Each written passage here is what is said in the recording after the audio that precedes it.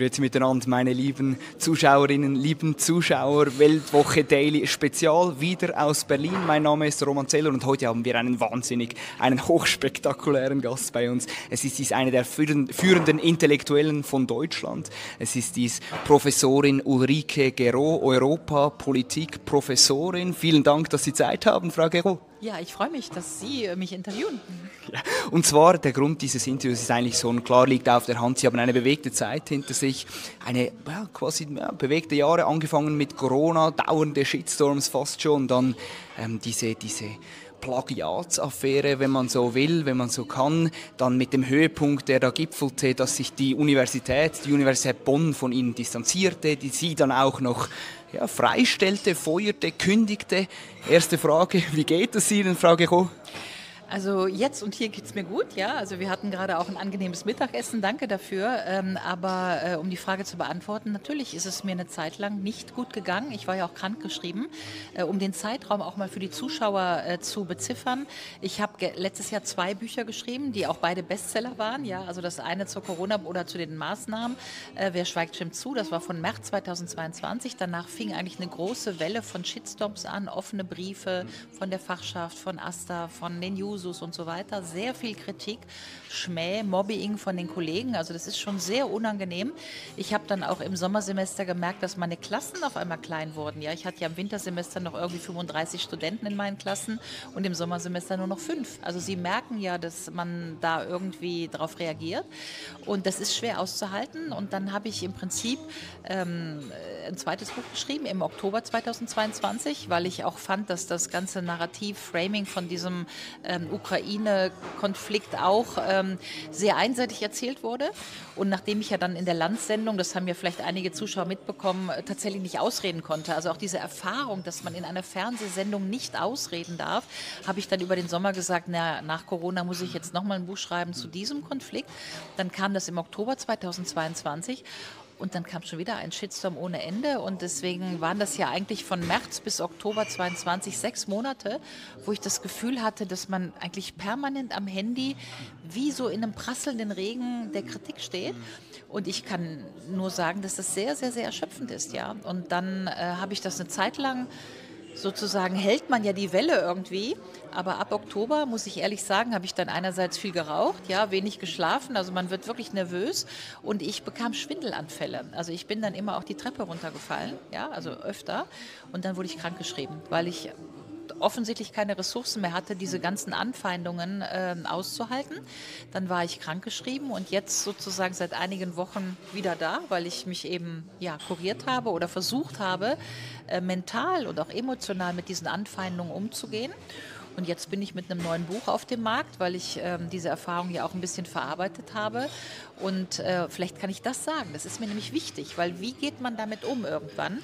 Also das Buch trägt den Titel Phänomen Gero. Und mir hat eine gute Freundin irgendwann mal gesagt, Ulrike, ab jetzt musst du verstehen, es geht nicht mehr um dich, um Ulrike. Es geht nur noch um ein Phänomen, das jetzt zufällig deinen Namen trägt und an dem die Gesellschaft was sich abarbeitet, ja, über Meinungsfreiheit, was darf man noch sagen und so weiter. Darüber kann man jetzt spekulieren, warum dieses Phänomen meinen Namen trägt. Das ist so ein bisschen hier, wir sprechen in der Schweiz, Max Frisch, ich bin nicht euer Stiller, ich bin nicht eure Gero, ja. Das heißt, da gibt es so ein Phänomen, an dem verhandelt die Gesellschaft ihre eigenen Freiheits gerade. Aber ich bin aus dieser Wolke längst raus und Ulrike sitzt hier vor Ihnen und mir geht es wieder gut. Vielleicht bevor wir die Einzelheiten, Ukraine, Krieg, Corona und alles noch äh, besprechen, diese Plagiatsvorwürfe, die hat ja doch auch Deutschland ein Stück weit aufgewirbelt. Das war groß in der FAZ, groß in allen anderen Medien. Was können Sie vielleicht da sagen? Was stimmt da? Was stimmt da nicht? Wie schlimm? Wie haben, wie schlimm haben Sie abgeschrieben? Was können Sie dazu sagen? Also eigentlich äh, bin ich angehalten worden von meinen Rechtsanwälten zu dem laufenden Verfahren nichts zu sagen. Ja? Insofern kann ich äh, ähm, dazu sagen, dass ich schon verschiedene Interviews dazu gegeben habe. Also auf den Nachdenkseiten zum Beispiel mit Markus Klöckner, das könnte man googeln. Da habe ich schon einiges im letzten Herbst gesagt. Auch im Cicero habe ich ein Interview gegeben. Ich habe mich zu den Vorwürfen auch in einem Zeitinterview 2022 im Juni schon geäußert. Da habe ich auch schon Sachen gesagt. Aber jetzt bin ich halt in einem laufenden Verfahren und da bin ich halt angehalten worden, dass ich jetzt nichts mehr hinzufüge. Ähm, aber so viel kann man hinzufügen, glaube ich, dass ähm, äh, man ja auch unterscheiden muss zwischen Plagiat und Urheberrechtsverletzungen. Ähm, was ist eigentlich der juristische Begriff? Ähm, wie viele Verfehlungen gibt es? Wie gesagt, ich will hier nicht mehr dazu sagen, aber es ist auch schon einiges im Internet verfügbar. Interessant ist natürlich schon ähm, auch der zeitliche Zusammenhang. Ja? Also wann sind diese Vorwürfe aufgekommen? Was man, glaube ich, das habe ich ja auch schon in der Öffentlichkeit gesagt. Insofern kann ich das auch gerne wiederholen. Aber ähm, einen Teil der Fehler habe ich ja selber entdeckt, schon 2016 öffentlich entschuldigt.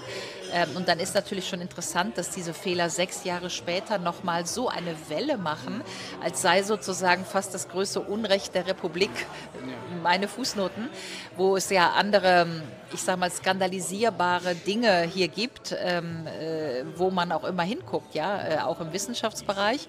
Insofern äh, fand ich das auch schon sehr auffällig, also eigentlich nur auffällig, ähm, wie man sich doch äh, an diesen Vorwürfen so festgeklammert hat, so äh, wie ähm, ja, so mit welcher Penetranz das auch immer einfach wiederholt wurde.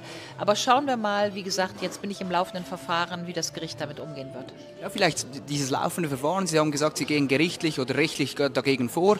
Wie sieht jetzt Ihre Strategie aus und was erhoffen Sie sich davon? Was ist Ihr Ziel? Ja, also da kann ich jetzt äh, tatsächlich nicht viel dazu sagen, außer das, was öffentlich ist. Die Güteverhandlung, es muss ja immer eine Güteverhandlung geben. Die wird jetzt am 28. April stattfinden. Da gehe ich jetzt mal ganz entspannt rein. Ähm, wie hat meine Oma immer gesagt, das beste Ruhekissen ist ein gutes Gewissen, sage ich mal, ja. Äh, und jetzt wollen wir mal abwarten, äh, wie sich das ausgehen wird. Ähm, inzwischen hat sich ja auch die Diskussion ein bisschen beruhigt und auch ein bisschen verschoben. Mhm. Äh, also mir ist zum Beispiel wichtig zu sagen, dass mit Blick auf Corona viele der Sachen, die ich vor einem Jahr gesagt habe, die haben sich ja völlig erhärtet. Mhm. Ja, also die, die These, dass das Virus eher aus dem Labor kommt und nicht von der Fledermaus, dass die Herdenimmunität nicht funktioniert hat, dass der Impfstoff nicht ganz sicher war und so weiter. Also alles diese Dinge, die ich ja sozusagen in diesem Buch, wer schweigt, stimmt zu, relativ früh einer größeren Öffentlichkeit zugeführt habe, die sind ja, haben sich ja alle erhärtet. Äh, insofern ähm, äh, ist das ja auch etwas, was mich irgendwo beruhigt, in dem Moment, dass ich heute eben sagen kann, äh, ich hatte doch recht eigentlich, ja. Wie könnt, könnte man jetzt mal über mein Buch diskutieren. Denn das ist ja so ein bisschen das, was bei diesen ganzen Plagiatsvorwürfen mitschwingt, ist ja immer dieses Argument, if you can't beat the argument, you need to get the person. Ja, also wenn man das Argument nicht ähm, entkräften kann, dann muss man die Person angreifen. Ja, und das ist ja doch sehr stark passiert. Es ist natürlich gerade die Folgefrage, warum gibt es dieses Phänomen Gero, wie auch das Buch heißt, wieso Sie, die eigentlich ja, ursprünglich oder geschlicht auf komplett falsch, eine eigentlich linke Professorin im Grunde, eine, eine, auf der guten Seite, nie irgendwie groß aufgefallen, beziehungsweise, ja, wieso gerade Sie, warum Ihre Person, warum dieses Phänomen Gero, sind Sie dem schon auf die Spur gekommen? Ja, also außer dass ich, wie gesagt, aus der Wolke-Phänomen rausgekrabbelt bin, wie mit so einer Himmelsleiter und mich davon mal in Schutz gebracht habe, ja, weil ich eben, das ist auch tatsächlich psychologisch die einzige Strategie, sowas zu überleben, ist, dass man sich sagt, naja, die Gesellschaft hat jetzt da eine Projektionsfläche, diese Projektionsfläche trägt meinen Namen, aus welchen Gründen? Wir, müssten wir diskutieren, aber ich bin außen vor, ja, ich heiße Ulrike, man kann mich mögen oder auch nicht, aber ich bin Ulrike, ja, so. Und diese Distanzierung ist psychologisch, das würde ich gerne betonen, die ist wirklich sehr wichtig, weil weil wir haben ja gesehen, auch mit Corona, es gibt ja doch auch hier Clemens Avey, äh, Biologen, andere Leute, die auch angegriffen wurden, die haben sich tatsächlich äh, umgebracht. Ja? Also dieser, äh, der, der öffentliche Angriff, der dauerhaft ist. Also ich habe ja jetzt seit August 21 eigentlich einen Shitstorm nach dem anderen, eine Rufmordkampagne nach der anderen. Das sind anderthalb Jahre. Und allein dieses Framing umstritten, also ich bin ja jetzt umstritten, das ist ja auch ganz interessant. Also was soll das eigentlich heißen, umstritten? Ja, bin ich jetzt als Person umstritten? Sind in einer Demokratie überhaupt Personen umstritten? Oder gilt für alle Personen in einer Demokratie, dass sie Würde haben, das Recht auf Meinungsäußerung? Das heißt, Thesen können umstritten sein, aber nicht Personen. Personen werden in einer Demokratie nicht ausgegrenzt. Aber der Diskurs funktioniert ja so. Ich bin jetzt umstritten, das ist jetzt oft genug wiederholt worden. Und wenn man es oft genug wiederholt, dann glauben es halt die Leute. Und keiner fragt mir nach, was heißt denn umstritten eigentlich, warum bin ich es? Ja, also ich will nur sagen, das ist schon alles sehr, sehr anstrengend. Und ähm, äh, ich habe mich jetzt ein bisschen daran gewöhnt, damit umzugehen. Aber Ihre Frage war, warum bin ich das geworden? Da weiß ich die Antwort natürlich schon eher nicht. Da müssten Sie eigentlich so die Leute fragen, die das betrieben haben. Also ich sage mal ein paar Namen, ja. Also auf Twitter war relativ klar ersichtlich, dass der FAZ-Redakteur Patrick Barners, Patrick Barners einer der, ich sag mal, der der Treiber des, der ganzen Shitstorms gegen mich gewesen ist. Oder Amina Sehi, der mich auf Twitter Faschistoid genannt hat. Oder ähm, Markus Linden, der in der FAZ diese Plagiatsvorwürfe formuliert hat. Und es ist ja sehr interessant, dass ich diese Leute zum Beispiel mehrfach persönlich angeschrieben habe. Wie? Also was sagen Sie diesen Leuten? Äh, per E-Mail. Also ich kenne die ja auch. Ja, das muss man ja auch dazu erzählen. Ja, also ich kenne ja auch Amina Sehi und Patrick Barners persönlich. Ich habe die ja mehrfach gesehen. Das sind, das sind ja auch ich duze die. Ich kenne die ja. Äh, ich habe mit Amina Sehi einen Forschungsantrag gemeinsam geschrieben. Also man wundert sich ja dann doch, wie auf einmal so eine Fehde, so eine Feindschaft kommen kann. Und dann schreibt man halt zehn E-Mails und sagt, sag mal, können wir nochmal vernünftig miteinander reden, öffentlich oder privat, können wir nochmal einen Wein trinken?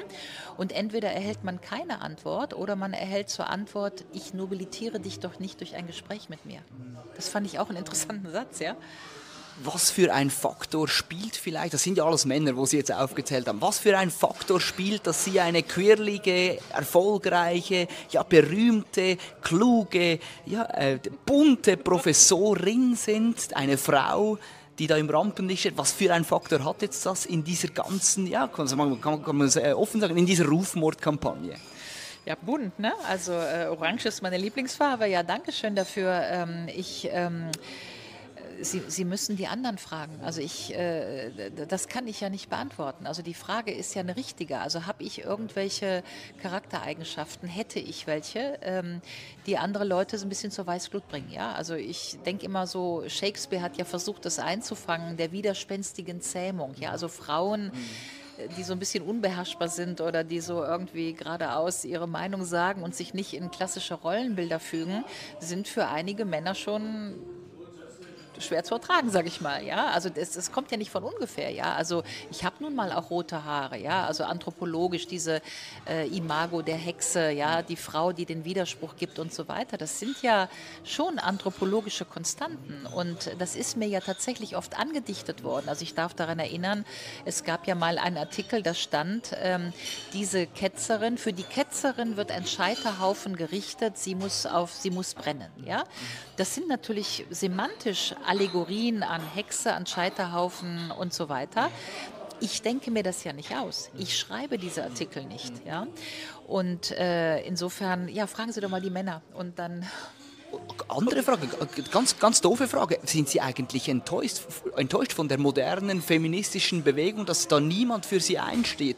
All diese Passmanns, Stochowskis und wie sie alle heißen, dass jetzt die nicht Ihnen den Rücken stärken und sagen, hey, da wird eine Frau, eben gerade wie Sie gesagt haben, auf dem Scheiterhaufen verbrennt und, wird, und die tun eigentlich gar nichts, sie sind mundtot. Ja, also ich habe tatsächlich, wenn Sie mich so ehrlich fragen, habe ich schon mir öfter mal gedacht, äh, wann gibt es einfach mal einen, der einfach nur sagt, egal ob Mann oder Frau, ich will das auch nicht zu sehr auf diese Gender-Geschichte zuspitzen, ja, aber dass einer einfach mal sagt, äh, lass die Frau mal in Ruhe. Weil ja eine demokratische Gesellschaft immer die Opfer schützt. Und zwar egal, was das Opfer getan hat. Ja, also wir, äh, normalerweise gibt es einen gesellschaftlichen Reflex, dass die Gesellschaft das Opfer schützt.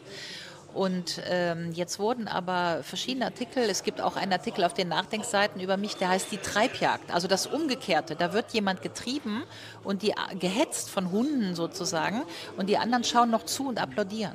Und da ist ja eigentlich sozusagen dieser paradigmatische Wechsel. Wann ist eine Gesellschaft so konditioniert, dass sie sagt, da wird jemand sozusagen öffentlich hingerichtet, wir müssen die, wir müssen schützen als Gesellschaft, ja, weil natürlich werden Täter bestraft in einem Rechtsstaat, aber sie werden nicht nicht getrieben. Ja? Ähm, und auf der anderen Seite war das genau die Umkehrung, dass man jetzt öffentlich gejagt werden kann und keiner stellt sich hin und sagt, lass mal diese Frau in Ruhe. Ja? Weil natürlich stimmt es anthropologisch, dass Frauen Männer schützen. Ja? Aber ich will, ich will nicht zu sehr auf diesen Gender-Aspekt, weil es, ich habe ja auch wahnsinnig viele sympathische ältere Männer, die mich gerade bestärken, schützen, emotional aufbauen. Also insofern ist es, glaube ich, weniger die Frage Mann-Frau, ähm, trotz dieser Hexenerzählung.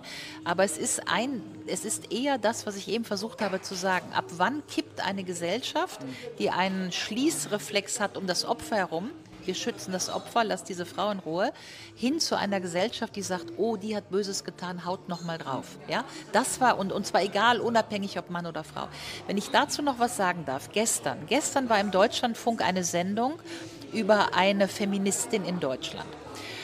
Und äh, jetzt gibt es ja in Deutschland Antifeministen, ja. Und dann hatte sie erzählt, dass sie jetzt eben verfolgt wird, weil sie Feministin ist. Also sie kriegt Morddrohungen und so weiter. Und jetzt hat also die Antonio Amadeus Stiftung hat jetzt eine Webseite eingerichtet, wo verfolgte Feministinnen, die dürfen sich also auf diese Webseite schreiben und sagen, was ihnen alles passiert und wie schlimm es ist, diese Shitstorms auszuhalten. Und ich fand das gestern im Deutschlandfunk sehr interessant, diese Sendung, weil um ehrlich zu sein, würde ich auch mal gerne im Deutschlandfunk ähm, über meinen Fall reden. Ja? Weil das Interessante ist ja, welche Fälle sind im Deutschlandfunk und welche nicht.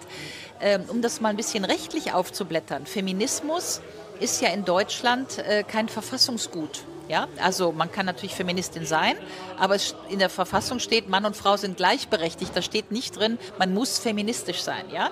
Wenn man jetzt also angegriffen wird, weil man feministisch ist von Antifeministen, dann kann man sich darüber natürlich beschweren. Ich finde das tatsächlich ganz schlimm, dass man dafür angegriffen wird für seine Meinung. Ja? Aber die interessante Frage ist, über welche Angriffe in der Öffentlichkeit wird im nationalen Sender, in diesem Fall im Deutschlandfunk, berichtet und über welche Angriffe und Diskriminierungen, in diesem Fall Anfeindungen gegen mich, wird nicht berichtet. Ja? Und das finde ich ganz interessant, weil wofür bin ich denn eingestanden? Ich bin in der Corona-Diskussion de facto für Freiheit eingestanden und ich bin in der Ukraine-Diskussion für Frieden eingestanden. Beide haben natürlich einen grundgesetzlichen Bezug. Ja? Also könnte man sagen, wenn ich jetzt diskriminiert werde und nicht nur diskriminiert, sondern angefeindet über Monate, dann könnte sich halt tatsächlich auch ähm, eine Stiftung sagen, wollen Sie mal auf dieser Webseite berichten, was Ihnen alles so widerfährt. Ja, zumal ja diese Stiftung, diese Antonia Amadeus Stiftung, ähm, kriegt ja sogar noch Bundesmittel aus einem Ministerium für diese Webseite. Ja? Und da kann man schon sagen, dass äh, es einen eindeutigen normativen Bias gibt, welche Anfeindungen sozusagen von der Gesellschaft verurteilt werden und welche Anfeindungen, die genauso schlimm sind, glaube ich, ich will es ja gar nicht gegeneinander aufwiegen, aber über die nicht berichtet wird. Und das finde ich schon sehr auffällig. Eine, eine, wenn wir gerade bei der äh, qualitativen Abwägung von Angriffen sind, was ist eigentlich schlimmer? Das habe ich mich schon damals gefragt, als Sie bei Lanz waren. Was ist eigentlich schlimmer, wenn ein angeblich neutraler Moderator gegen einen ist oder die Herde mitmacht und auf einen einschlägt? Was ist da schlimmer? Ja, also bei Lanz dieses Setting ja vier gegen ein, das also überhaupt der, den Moment, in dem man erfasst, dass man da nicht rauskommt. Ja? Also man denkt ja immer noch, dass man in einer rationalen Diskussion ist und dass es kein emotionales Nudging gibt, sehen Sie nicht diese schrecklichen Bilder und so weiter. Also überhaupt, also ich war ja in dieser Landsendung tatsächlich in, äh, sekundenweise da, wo ich gesagt habe, ich müsste aufstehen und gehen. Ich müsste, man müsste. Und man denkt sich, das kann ich jetzt nicht vor Live-Kamera machen und so weiter. Ja, also dieses Gefühl, dass die Vernunft nicht mehr zählt, das ist schon ganz schlimm. Also insofern ist dieser Herdentrieb, äh, der ist schon schlimm. Ich finde Hannah Arendt, das ist für mich jetzt sehr wahr geworden, wenn sie sagt, in der schlimmsten Krise stören mich nicht die Worte meiner Feinde, sondern es fehlen mir die Worte meiner Freunde da ist ja was Wahres dran. Also ich habe jetzt in den letzten Monaten und Wochen auch sehr viel Solidarität erlebt. Ich kriege ja Briefe und, oder die Leute schicken mir selbstgebackene Kekse oder was auch immer. Ja, also ich erfahre auch Wahnsinn und ich danke dafür an dieser Stelle. Alle, die mir schreiben, eine Postkarte oder eine E-Mail, das ist wirklich balsam. Aber interessanterweise kommt dieser Support, der kommt nicht von den alten Freunden ich kenne ja sehr viele Leute, die im Deutschlandfunk arbeiten oder bei der Zeit oder beim Spiegel und so weiter. Und die müssten ja auch merken eigentlich, dass in dieser Demokratie doch irgendwie etwas schief läuft, wenn man zum Beispiel vom NDR Sachbuchpreis gecancelt wird wegen eines nicht gesicherten Wertekanons. Ja? Was soll das denn sein? Ein nicht gesicherter Wertekanon. Ja? Das hört sich ja schon fast so an wie die, äh, wie heißt das? Äh, äh, ähm, weltanschauliche Unzuverlässigkeit, die wir mal in der dunkelsten Periode äh, Deutschlands hatten. Ja? So, und dann denkt man sich doch, dass eigentlich jeder vernünftige Journalist äh, aufschreien müsste und sagen müsste, was passiert denn hier? Warum wird denn Frau Giro gecancelt vom NDR Sachbuchpreis? Stattdessen ist der Aufschrei bei No Names, also in der Bevölkerung, aber nicht im Establishment. Und da Ne? Also es stören mich nicht die Worte der Feinde, es fehlen mir die der Freunde da merkt man offensichtlich, dass es keinen, das hatte ich eben gesagt, also nicht diesen Schließungsprozess um das Opfer gibt, den man eigentlich erwarten würde in, einem Demo, in einer demokratischen Republik. Ja? Vielleicht noch eine Nachfrage. Wieso sind Sie da bei dieser Landsendung, als Sie sich überlegt haben, zu gehen, aufzustehen und das Ganze abzubrechen, dieses, ja, dieses Gemetzel eigentlich? Wieso sind Sie da sitzen geblieben und haben das stoisch ertragen, ja, vielleicht sogar noch probiert, zu intervenieren, zurückzugeben, äh, sich aufzu, seine Stimme zu erheben? Warum sind Sie da geblieben? Ja, weil man vielleicht auch nicht, äh, äh also in dem Moment erlaubt man sich das nicht. Man erlaubt sich das nicht, ja. Also ich glaube, ich habe mir hinterher habe ich mir gesagt, wenn ich mir von vornherein erlaubt hätte, also ich wäre in die Sendung gegangen und mit dem Bewusstsein, wenn es nicht geht, stehe ich auf, dann wäre ich vielleicht gegangen. Aber in dem Moment, wo sie ja enorm unter Adrenalin und Stress stehen, haben sie das Gefühl zu versagen. Ja, und dann wird das ja auch noch gegen sie ausgelegt. Es wird ja alles gegen mich ausgelegt. Das ist ja so ein bisschen, äh, ich sage mal, der Zustand, in dem ich gelandet bin, der einen dann auf entspannte Art und Weise auch wieder sehr frei macht. Ja, aber ich kann ja im Moment tun und lassen, was ich will. Es gibt ja nichts Gutes mehr in mir. Ja? Also nichts kann, zu verlieren. Äh, Nichts, na, freedom is just another word for nothing left to lose. Also ich habe auf gewisse Art und Weise in den letzten 18 Monaten meine Reputation, meine Anerkennung, meinen Referenzrahmen, meine alten Freunde in großen Teilen eingebüßt. Das heißt, ich muss auch niemandem mehr genügen, was natürlich auf eine entspannte Art und Weise auch wieder sehr frei macht, obwohl es natürlich sehr traurig ist und auch viel Verlust zu beklagen ist. Und ich auch noch hoffe, dass wir wieder zusammenkommen. Das möchte ich ausdrücklich sagen. Ich hoffe, dass sich die Gesellschaft wieder so normalisiert, dass es in drei, sechs Monaten wieder möglich sein wird, über E-Mail Kontakt aufzunehmen. Was haben wir uns denn da eigentlich angetan? Also, dass das möglich sein wird, ja.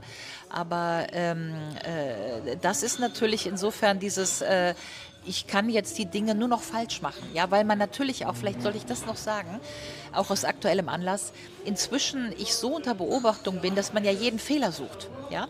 Also ich sage mal entspannt, ich hatte äh, meine ganze Schulzeit habe ich damit verbracht, dass die Lehrer unter meine Aufsätze immer geschrieben haben, ein brillanter Aufsatz, leider wegen Flüchtigkeitsfehler nur 2 plus. Ja? Damit habe ich 18 Jahre Schule verbracht. Ja? So. Jetzt habe ich ja äh, Bücher auf dem Markt und in diesen Fehlern wird ja fast paranoid und akribisch nach Fehlern gesucht. Also der kleinste Fehler ja, wird jetzt auf Twitter zu einem Capital Crime. Und äh, um das jetzt mal dieses Mikro halbwegs entspannt zu sagen, der Shitstorm, der gerade heute läuft, ist, dass ich mich in dem letzten Buch, wo ich so versucht habe zu sagen, ey, Amerika stand doch mal mit seiner ganzen Popkultur für das liberale Amerika und dann zähle ich da auf, Janis Joplin, was auch immer und darunter Pink Floyd. So, jetzt ist Pink Floyd eine britische Popband und keine amerikanische. Jetzt kann man sagen, Anglo-Saxon, wie auch immer. Ich will mich gar nicht rausreden, aber Pink Floyd gehörte für mich einfach zu diesen 70s und Songs of Freedom und so weiter. So. Das steht jetzt in diesem Buch. Das Buch ist von Lektoren, von anderen Leuten gelesen worden, von fünf, sechs Leuten. Jedem hätte das auffallen können. Ja? Also mehreren Leuten, die das Buch korrigiert hätten, hätten sagen können, ey, Ulrike Pink Floyd ist britisch, das muss da raus. Hätte ich gesagt, ja, es muss da raus. Ne? Wie meine Lehrer, Flüchtigkeitsfehler, so. Ja? Ähm, jetzt ist es aber drin geblieben und was beweist uns das? Die Leute, die mein Buch Korrektur lesen, aber mit einem Wohlwollen, die finden den Fehler nicht, weil sie den Kontext sehen und sagen, wow, da möchte Frau Gero ein kulturelles Kapitel schreiben über kulturelle Identität Amerikas und die lesen darüber hinweg. Ja? Aber diejenigen, die mit der Lupe den Fehler sehen oder finden wollen, die stolpern natürlich darauf, posten das auf Twitter und machen jetzt eine riesen Nee, nee, nee, nee, nee, nee. Die Frau Gero weiß nicht, dass Pink Floyd britisch war. So, jetzt sage ich hier, ja, sorry, Pink Floyd ist britisch, trotzdem eine tolle Band, trotzdem Song of Friedens und ich wünsche mir, das ist ja der Punkt meiner Einlassung, ich wünsche mir, dass wir zurückkommen zu, dem, äh, zu der Einschätzung meiner Lehrer wunderbarer Aufsatz, leider Flüchtigkeitsfehler. Das ist ja eine andere Attitüde zu sagen, boah, das ist ein tolles Buch. In 30, äh, Sie umreißen auf 200 Seiten einen großen Bogen über der Ukraine-Krieg und Europa und wie sich das entwickelt hat. Und da ist auf Seite sowieso ein Flüchtigkeitsfehler. Okay, ja? Wer macht keine Fehler, werfe den ersten Stein. Aber das ist die Attitüde, die sich geändert hat mit Blick auf meine Person. Es gibt kein Wohlwollen mehr. Es gibt nur noch Böswilligkeit. Und damit habe ich schon verloren, egal was ich mache. Das kannst du noch falsch machen. Was haben Sie in dieser schwierigen Zeit, turbulenten Zeit über Deutschland gelernt? Ja, äh, gelernt, also erfahren, ja. Es macht mich eigentlich bis heute noch sprachlos. Also das ist im Moment schon mein Problem, dass ich jetzt das Gefühl habe, ich bin offensichtlich umgeben von 80 Prozent Bürgern, die im Handumdrehen bereit waren, Demokratie und Freiheit auf den Tisch zu legen für ein Virus, die heute darüber hinweghuschen wollen, die heute sagen, ach, ist da was gewesen, die heute nicht mehr in die Versöhnung, geschweige denn Aufklärung, geschweige denn Bestrafung von Mitverantwortlichen gehen wollen, die also heute tatsächlich, ja, das berühmte Tischtuch, Teppich drunter kehren, wie bei diesem, äh, na, wie heißt er, der, der Maler, ähm, äh, Banse, Bensei, na, wie heißt er, der? Banksy. Äh, genau, der, immer diese ähm, Graffiti macht, ja, der, der, hat doch dieses Dienstmädchen, die den Teppich hebt und den Dreck drunter kehrt. Das ist doch eine seiner berühmtesten äh, Wandmalereien, ja. So, und das machen wir jetzt mit der Corona-Krise. Es wird ja nicht Ansatz ein bisschen entschuldigt. Wir hätten die Kindergarten nicht schließen müssen. De facto gibt es Leute wie Günter Frank, dieser Arzt, die sagen, es war ein Staatsverbrechen, es muss gesühnt werden, es muss geahndet werden, es müssen Leute ins Gefängnis oder für ihre Taten eingestehen. Ja, das findet alles nicht statt. Und dieses Gefühl, dass ich jetzt äh, hier, jetzt ist wieder Frühling, ne? die Narzissen sind draußen, die Vögel singen und man geht da so raus und denkt, ist das noch mein Land? Weil ich einerseits lebe ich jetzt, also wie gesagt, man hatte ja das Gefühl, dass wir uns doch alle einig sind, in welcher Demokratie wir sind und welche Werte wir verteidigen. Und jetzt lebe ich aber in einem Land, das ich erfahren habe, dass 80 Prozent der Leute eben diese Werte, nämlich Freiheit und Demokratie, als es ernst wurde, nicht verteidigt haben, dass sie das nicht aufklären wollen, dass sie nicht darüber reden wollen und schlimmer noch, dass es jeden Tag wieder anfangen kann. Morgen für irgendwas, ja? Und das macht mich tatsächlich im Moment sehr befangen. Und zwar befangen in meiner Selbstwahrnehmung als Bürgerin dieses Landes. Ja? Also man hat ja das Gefühl, dass man irgendwie auf so einer Oberfläche ist, wo man die Pfropfen nicht mehr findet. Ja? Also ist man jetzt entfremdet von dieser Gesellschaft, die so, ich habe es in meinem Buch so formuliert, die ihre Kontenance verloren hat. Ja? Und das muss ich jetzt noch mit, da werde ich noch ein bisschen Zeit für brauchen, aber dass wir dieses Interview machen, ist der erste Schritt in einen Versöhnungsdiskurs. Ja? Vielleicht äh, rhetorische Anschlussfrage, wie demokratisch ist Deutschland? Und ja, okay, ich weiß ein bisschen, wie Sie antworten werden. Und wenn Sie mit Nein antworten, dass Deutschland nicht demokratisch ist, wer ist dafür verantwortlich? Es geht ja nicht nur um Deutschland. Wir hatten das gleiche in Spanien, in Frankreich, in Italien, ja, sogar weltweit. Ja, wir können uns jetzt auch lange darüber unterhalten, ob die Chinesen noch schlimmere Lockdowns gemacht haben als wir und ob vielleicht nur die Schweden ein bisschen demokratischer waren. Also das sind große Debatten, die ja auch international geführt werden. Also wir haben ja in den USA gerade große Aufklärung auch im Kongress von den Republikanern. Wir haben in der Schweiz immerhin die Swissmed, die vor Gericht steht. Wir haben Klagen beim Internationalen Strafgerichtshof. Also da ist der Drops noch nicht gelutscht. Ja. Zur Frage, ist Deutschland noch eine Demokratie? Demokratie? Ich würde mal sagen, ja klar, aber. Ja, äh, die Frage ist, wo tun wir das aber hin? Wir hatten jetzt tatsächlich, würde ich sagen, viele Verformungen von unserem Rechtsbestand, von unserem Grundrechtsbestand. Wir hatten und auch ein Gerichtsverfahren, das haben wir alles gesehen. Wir hatten ein in meinen ähm, Augen uns problematisches Urteil des Bundesverfassungsgerichts, dass das alles ex post sanktioniert hat. Also das Verfassungsgericht hat sich nicht vor die Bürger gestellt, ja, sondern eigentlich nur alles erlaubt, was geschehen ist. Ähm, und insofern, ich sage nochmal, hat ein, eine gesamte Gesellschaft äh, ihre Kontenance verloren. Also die ähm, Juristin Jessica Hamid sagt, es war ein gesamtgesellschaftliches Versagen. Ja. Jetzt ist das Problem, eine Gesellschaft können Sie ja nicht bestrafen. Sie können ja nicht eine ganze Gesellschaft vor Gericht stellen. Ja.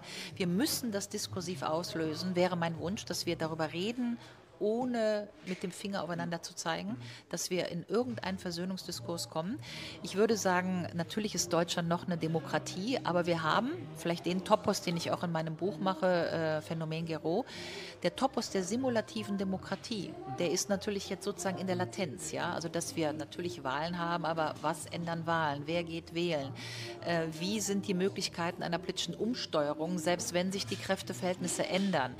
Ähm, wie ist die, und das ist das Wichtigste, die Unterspülung von rechtsstaatlichen Institutionen durch das Kapital. Also wir haben bei der Corona-Krise eindeutig gesehen, dass es wahnsinnig große Kapitalinteressen gab von Pfizer, BioNTech und so weiter. Also es wurde mit sehr viel Geld diese Impfstoffnummer durchgewunken sozusagen. Es haben sich sehr viele Leute an Corona bereichert. Also die Ärzte, es wurde ja bezahlt ja für die Ärzte, die geimpft haben oder Masken und so weiter. Also da ist ja Geld geflossen. Das heißt, die Unterspülung mit ökonomischen Treibern, die dazu führen, dass wenn genug Geld fließt, die meisten Leute sagen, naja gut, dann äh, machen wir halt ein paar undemokratische Sachen, Hauptsache wir werden dafür bezahlt, die konnte man ja bei Corona auch wirklich hautnah erleben. Und da würde ich allgemein ein großes Fragezeichen hintermachen, nicht nur bei uns, auch in Frankreich, auch in Italien, dass sozusagen die, das allgemein spricht man von der Neoliberalisierung, ja, aber dass die Neoliberalisierung und die Unterspülung von ähm, Institutionen, dass das schon ziemlich weit fortgeschritten ist, ja. Was für eine Rolle spielten die Medien dabei? Naja, darüber ist viel geredet worden, aber inzwischen auch schon viel geforscht worden. Wir wissen sogar auch aus äh, empirischen Analysen, das kann man ja inzwischen mit wissenschaftlichen äh, Daten sagen, dass die Medien im Grunde komplett versagt haben. Ja, also nicht nur wissen wir über die Geldzuwendungen von Zeitungen wie etwa dem Spiegel oder so, die natürlich von interessierten Stiftungen, Bill und Melinda Gates Stiftung Geld bekommen haben. Wir wissen aus den Twitter-Files, dass Meinungen unterdrückt wurden. Wir wissen, dass Journalisten beiseite geräumt wurden. Wir wissen, dass bestimmte Ärzte auf Twitter gelöscht gelöscht worden. Das ist inzwischen alles dokumentiert. Das ist nicht irgendwie dokumentiert auf irgendwelchen Querdenkerforen oder auf Telegram-Gruppen. Das ist dokumentiert in Anhörungen äh, des Europäischen Parlaments, in Anhörungen des amerikanischen Kongresses. Also insofern haben die Medien äh, als kritische vierte Gewalt tatsächlich zum großen Teil versagt. Natürlich gibt es Ausnahmen. Ja, die Berliner Zeitung ist als eine wichtige Ausnahme zu nennen. Auch die NZZ, die Welt, also die Springerpresse hat bei Corona auch noch mal gut dagegen gehalten und kritische Fragen gestellt. Ähm, äh, auch Cicero, also es gab einzelne Oasen sozusagen, wo es kritischen Journalismus gab, aber im Wesentlichen bei Corona gab es äh, einen Konformitätsdruck, der dazu geführt hat, dass wir im Wesentlichen eine gleichlautende Presselandschaft hatten, ohne kritische Fragen. Und äh, die interessante Frage ist, warum das sozusagen beim Ukraine-Russland-Krieg eigentlich auch nochmal so passiert ist, ja, dass man ein relativ einseitiges Narrativ und auch zugespitzt, ja, nur Putin ist an diesem Krieg schuld, dass das über lange Monate so funktionieren kann. Ja? Es gibt ja interessante Fragen zu stellen. Also die eine ist ja, wer hat denn jetzt diese Pipeline gesprengt zum Beispiel, ist ja eine interessante Frage. Wie lautet Ihre Antwort? Also ich bin bei denen, die Simon Hirsch äh, den Artikel sehr gut finden und äh, diesen Hergang sehr plausibel finden. Insofern würde ich sagen, die Plausibilität, dass es äh, nicht die Russen waren, äh, ist sehr hoch. Ja? Äh, aber es gibt ja auch andere interessante Fragen. Ja? Also Herr Zelensky hat offenbar ein Vermögen von 800 Millionen Dollar. Woher hat er das denn? Hat er das als Clown verdient in der Ukraine? Ja, also es gibt ja interessante Fragen, die man einfach mal als investigativer Journalist stellen könnte, um die Hintergründe dieses Krieges, die Akteure, die Interessen, auch die Kapitalinteressen zu beleuchten. Und das passiert aber nicht. Insofern würde ich schon den Zusammenhang herstellen wollen, dass wir sowohl bei Corona wie eben auch in dieser Kriegssituation eine doch nennen wir es mal einseitige oder tendenziöse Berichterstattung hatten mit sehr wenigen kritischen Fragen. Und äh, die Good News ist, dass sich das ja, while we speak, jetzt gerade doch ein bisschen ändert. Und die Hoffnung ist, dass wir daran weitermachen, ja. Wie hat sich eigentlich die Intensität dieser Debatte verändert? Corona, Ukraine-Krieg. Sie sind ja in beiden eigentlich ähm, eine Wortführerin, auch sehr meinungsstark präsent da. Wo ist die Diskussion höher? Hat die zugenommen, ab, abgenommen von der Zeit Corona nachher zum Ukraine-Krieg? Wie, wie erleben Sie das? Also ich habe es persönlich so erlebt, dass äh, sozusagen gegenüber dem, was bei Ukraine passiert ist, wenn man da ausgeschert ist und für Frieden gesprochen hat, war Corona ein Ponyritt. Ja, also das äh, äh, könnte ich jetzt viel zu erzählen, was mir da auch passiert ist, von wem ich auch gewarnt wurde. Also wie, wie massiv die Interventionen waren, wie ich da nochmal ausgeladen wurde, also wie mit Snipers weggeschossen äh, von Einladungen, die ich noch hatte im Terminkalender. Und dann kriegt man einen Anruf, Frau Gero, Sie sind ausgeladen, Sie brauchen nicht mehr zu kommen. Bum, bum, bum. Also wirklich, äh, es äh, war alles schon im letzten September. Äh, da könnte man sehr ins Detail gehen. Aber mein persönliches Erleben ist, dass, wenn wir das vergleichen wollen, wo war die Meinungs-, also also wo wurde noch sozusagen schärfer sanktioniert, wenn man aus dem ähm, äh, sozusagen aus dem Mainstream-Narrativ ausgeschert ist, würde ich sagen, bei, bei der Ukraine war das noch mal massiver als bei Corona. Und, wa und, warum erheben Sie trotzdem Ihre Stimme? Warum sagen Sie trotzdem etwas? Wieso, wieso rennen Sie lachend in die Kreissäge? Artikel 5 Grundgesetz, oder? Äh, Janis Joplin, Freedom is just another word for nothing left to lose. Also ich habe tatsächlich nicht mehr viel zu verlieren. Ich habe äh, einen Großteil meines Referenzmilieus verloren, einen Großteil meiner Freunde, das sagte ich schon. Einfach ist das alles nicht. Ähm, aber das, was ich nicht verlieren möchte, ist mein Glauben in diese Bundesrepublik, mein Glauben an dieses Grundgesetz, mein Glauben an Artikel 5, dass ich nichts gesagt habe, was diesem Grundgesetz widerspricht und dass deswegen alles, was ich getan habe, rechtmäßig ist und dass selbst wenn ich mit dem Plagiat einen Stra wie heißt es, Straftatbestand erfüllen sollte, dann werde ich dafür bestraft aber dann bin ich nicht umstritten. Ja? Auch das müsste man mal klarstellen. Ja? Auch Mörder werden in diesem Land äh, bestraft, aber sie sind nicht umstritten. Ja? Das ist die Entgleisung der Diskussion, dass wir äh, sozusagen mit Attributen Leute bedenken, die ja moralisierend sind und nicht mehr Rechtstatbestände. Ja? Und das nochmal wieder in ein größeres Bewusstsein zu rücken und zu sagen, wenn ihr eine rote Ampel überfahrt, ja, dann kommt ihr vielleicht irgendwie vors Gericht oder so, aber deswegen seid ihr nicht umstritten. Dafür haben wir Gesetze. Aber die Moral, die muss weg aus den Bewertungen. Und insofern, Janis Joplin mag ich tatsächlich sehr gerne, ja. Äh, aber ähm, das Letzte, was ich, das klingt jetzt pathetisch, ja, aber wenn man sich hier das Wort nehmen lässt, dann ist das tatsächlich das Ende der Demokratie und dafür müssen wir kämpfen. Also das sehe ich, ist vielleicht ein bisschen pathetisch, aber ähm, das muss schon so sein.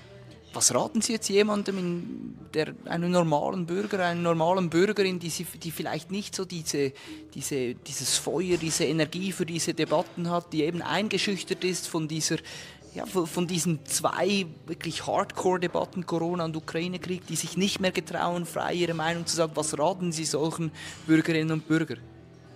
Sprechen, sprechen, sprechen. Ja, also äh, da gibt es auch interessante Theorien darüber, dass äh, hier der äh, belgische Psychologe Matthias Desmay, der sagt immer, wenn wir so eine autoritäre Schließung haben und sich die Meinungskorridore verändern, verengen, dann gibt es genau eine Lösung. Sprechen, sprechen, sprechen. Die kritischen Stimmen dürfen nicht verstummen. Wenn sie verstummen, dann ist Schluss. Das heißt, wir müssen alle sprechen. Oder um es nochmal künstlerisch aufzulösen, es gibt einen wunderbaren Film, der heißt The Square von einem schwedischen Regisseur. Und der beschreibt so eine Schlüsselzeit Szene, wo bei so einer Tischgesellschaft eine Frau von so einem Gorilla, ist natürlich eine Kunstfigur, so angegriffen wird, ja. Und dann rücken alle weg, weil alle haben nur eine Sorge. Ich möchte nicht die Nächste sein, die angegriffen wird. Das ist ja das Erziehen. Man versucht ja mich zu erziehen, ja, oder mich sozusagen zu bestrafen, um 100 andere zu erziehen, ja. So, das heißt, der gesellschaftliche Reflex ist zu sehen, oh mein Gott, da wird aber eine, die wird jetzt sozusagen öffentlich hingerichtet. Ich will nur sicherstellen, dass ich nicht die Nächste bin, ja. Und das fängt dieser Film ganz gut ein, weil alle rücken ab von, vom Tisch und, und so. Ja? Und dann gibt es aber eine Schlüsselszene, dass ein anderer von der ganzen Tischgesellschaft aufsteht, nur ein Mann, und auf einmal steht die ganze Tischgesellschaft auf und dann sind es 50 Leute, die diesen Gorilla einfach mal auf den Boden bringen. So, und das wünsche ich mir auch. Wir stehen jetzt einfach mal alle auf und sprechen wieder und dann ist auch gut damit. Was würden Sie vielleicht der Ampelregierung, dem Bundeskanzler raten, damit eben dieser Meinungskorridor nicht sich weiter, diese Schlinge nicht weiter zuzieht, dass sich vielleicht Deutschland entspannt, auch ein bisschen relaxed zurücklehnen kann, dass da wieder miteinander diskutiert werden kann und sich die Hand gereicht wird? Also empfehlen würde ich, dass wir, wie Herr Kubicki das auch möchte oder auch äh, Christina Schröder von der CDU, gibt ja einige, dass wir jetzt eine Enquete-Kommission zu Corona einrichten, weil ich felsenfest davon überzeugt bin, dass eine Demokratie nicht auf der Lüge beruhen kann. Eine Demokratie hat ja die Wahrheitssuche. Ja, autoritäre Regime unter, unterdrücken oder stellen halt Andersdenkende an die Wand. Ja, aber eine Demokratie zeichnet sich ja gerade dadurch aus, dass wir strittige Dinge in der Mitte der Gesellschaft diskutieren können. Also, wenn wir das machen würden, dass wir ehrlich zueinander sind und mal beleuchten, was ist passiert, passiert in dieser Gesellschaft. Wir machen eine Enquete-Kommission. Das wäre für mich ein erster Schritt, auch zur Lockerung. Jeder darf wieder reden. Ja, weil wenn das im Bundestag ist, wir dürfen im Bundestag darüber reden, was passiert ist, das hätte ja eine Signalwirkung, nicht nur in Telegram-Gruppen, sondern im Bundestag. Ja? Und dann glaube ich, dass das so ein bisschen schmilzen würde wie Schnee. Auf einmal merken die Leute, oh, ich darf da wieder sagen, was habe ich denn erfahren? Äh, wurde auch bei mir die Würde verletzt? Wurde auch mein Opa im Krankenhaus irgendwie, dass ich den nicht besuchen durfte? Also dann kommen die Leute wieder ins Reden und dann würden sie merken, ich darf das jetzt sagen.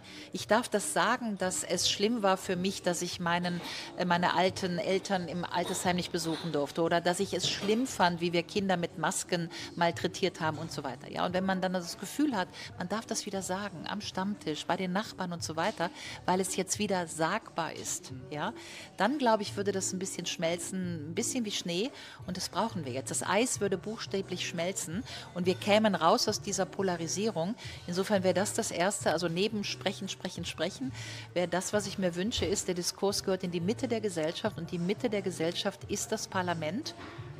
Und dann äh, kriegen wir das auch hin. Wie geht es mit Ihnen konkret weiter? Das weiß ich tatsächlich zum ersten Mal nicht mehr so genau. Ja, man hat ja immer irgendwie so große Pläne im Leben gehabt, aber jetzt habe ich eigentlich nur noch so bis Sommer so eine Agenda. Ja, ich ähm, äh, äh, muss ja jetzt das Verfahren abwarten. Also muss ich ja abwarten, komme ich nochmal an die Uni Bonn zurück oder will die Uni Bonn mich überhaupt nicht haben oder was auch immer. Das dauert jetzt wahrscheinlich so ein bisschen in den Sommer hinein. Ähm, also Würden Sie zurück wollen? Äh, ich würde prinzipiell an die Uni Bonn zurückgehen. Ja? Also ich würde mir immer noch wünschen, dass meine beiden Bücher, dass die Uni Bonn nicht über mich redet, sondern meine beiden Bücher im Hörsaal diskutiert werden. Das ist ja das Ziel von Universitas, ja? dass man da sitzt und Seite für Seite die Bücher durchgeht und sagt, Moment mal, was können wir doch hier diskutieren? Was steht da? Und dann sagen die anderen, ja, sehe ich anders. Sage ich, okay, kannst du anders sehen? Ja? Und dann wird diskutiert. Das wäre ja das Ziel von Universitas. Eigentlich würde ich mir das wünschen. Äh, dass das kein Ponyritt äh, wird, weiß ich auch. Ja, also wenn Sie ein Jahr lang richtig gemobbt und gedisst worden sind, verstehen Sie, ne? Also der Impuls ist ja jetzt nicht unbedingt äh, dahin zurückzugehen, ja. Aber das gucken wir uns mal an. Also insofern habe ich da jetzt noch ein paar Monate, wo ich das äh, mir angucken muss. Aber ich sage mal jenseits des Sommers und das ist auch interessant jenseits des Sommers habe ich zum ersten Mal im Leben keine Pläne mehr, keine konkreten Pläne. Und ich bin fast 60, das hatte ich noch nie. Und es ist ein ganz interessantes Gefühl von Freiheit. Und da habe ich jetzt gerade gestern den Trailer gesehen von diesem wunderbaren Film mit Isabelle Huppert. Die finde ich ja sowieso super. Ja? Und da gibt es einen Film, der heißt auf Französisch L'Avenir. Und auf Deutsch heißt der, glaube ich, äh, äh Was immer kommt. Ja? Und an dieser Stelle ist diese äh, ist eine Lehrerin, Isabel Huppert spielt eine Lehrerin, der passiert auch alles Mögliche in ihrer Schule. Die wird da auch irgendwie rausgeschmissen, ja, weil sie mal bei den Kommunisten war und kommunistische Flugblätter verteilt hat. Und dann sitzt die mit äh, eigentlich einem ziemlich sexy, sage ich mal, Typen im Auto, der eine Zigarette raucht und sie sagt zu ihm, das ist doch sehr komisch, zum ersten Mal im Leben habe ich das Gefühl völliger Freiheit. Und dann habe ich mir diesen Trailer gestern angeguckt und gedacht, äh, das ist aber jetzt mal interessant. Insofern nein, über den Sommer hinaus habe ich keine Pläne und wer mir ein Angebot machen will, das gucke ich mir vielleicht an. was, was gibt Ihnen Kraft, dass Sie eben vielleicht diese Hoffnung, diesen Optimismus, ja, diese, ja, diesen Humor, den Sie haben, nicht zu verlieren? Die Yogamatte. Ja, wirklich. Also es, ich, deswegen bin ich schon wieder Schwurblerin. Also alle Gegner, die das jetzt hören, werden mir das schon wieder böswillig auslegen. Aber Fakt ist, dass Yoga ist ja Let Go, ja, keine Anhaftung, no attachment. Das heißt, ich übe ja täglich und mache eigentlich täglich Kopfstand. Der Kopfstand ermöglicht mir ja die Welt andersrum zu sehen. Also wenn ich auf dem Kopf stehe, sehe ich die Welt ja andersrum. Ja? Und ansonsten ist ja die ganze Asana-Praxis eigentlich die Praxis mit diesen ganzen Verrenkungen, no attachment. Das heißt, lass das an dir abperlen. Also im Grunde ist ja auch das Ziel der Yoga-Übung, dass man am Ende im Lotus sitz, sitzen kann und nur noch beobachtet. Deswegen muss man ja üben. Ja? Aber wo wächst denn die Lotusblüte? Die wächst im Schlamm. Ja, das ist ja das Ziel der Yoga-Praxis. Insofern würde ich wirklich sagen, also ohne Yoga hätte ich das nicht überstanden. Also Yoga ist für mich eine Kraftressource und, also Kraftquelle, Yogamatte. Und natürlich der rheinische Humor. Ne? Also das haben wir im Rheinland gelernt. Ne? Also jeder Jeck, äh, lasst jeden Jeck sein, wie er ist. Das haben wir im Rheinland gelernt. Und im Rheinland lernt man auch, keine gekränkte Leberwurst, nicht nachtragend sein. Und ich glaube, das habe ich wirklich von meinem Vater, der auch tatsächlich vor einer Woche verstorben ist. Mein Vater war in der Hinsicht so ein richtig jovialer, humorvoller Rheinländer. Ja? Da konnte man sich, keine Ahnung, die äh, streiten wie die Kesselflicker. Und danach hat man fünf Kölsch getrunken, da war die Welt wieder in Ordnung. Und da will ich wieder hin. Politik ist Streit. Die Gesellschaft muss den Streit aushalten, aber den Streit um die Themen und die Argumente und nicht um die Person. Keiner ist umstritten. Das ist der Punkt. Niemand ist umstritten in einer Demokratie. Ja? Alle sind willkommen, alle haben Würde und alle dürfen sich streiten. Wunderbares Schlusswort. Vielen herzlichen Dank für Ihre Zeit, dass Sie da mitgemacht haben. Ihnen wünschen wir einen wunderschönen Tag und bis zum nächsten Mal, wenn es wieder heißt Weltwoche Daily Spezial. Merci.